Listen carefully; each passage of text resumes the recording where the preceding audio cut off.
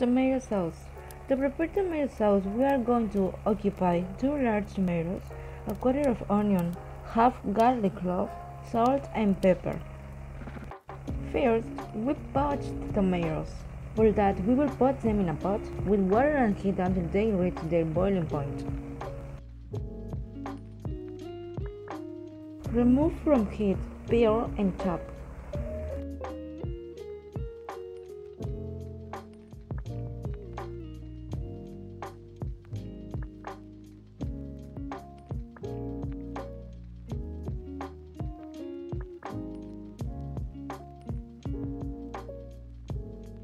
Then, in a pan, we add oil, add the onion, salt, pepper, stir and then add the tomato.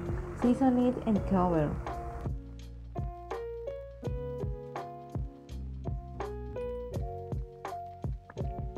Now, we remove from the heat and we can liquefy and serve.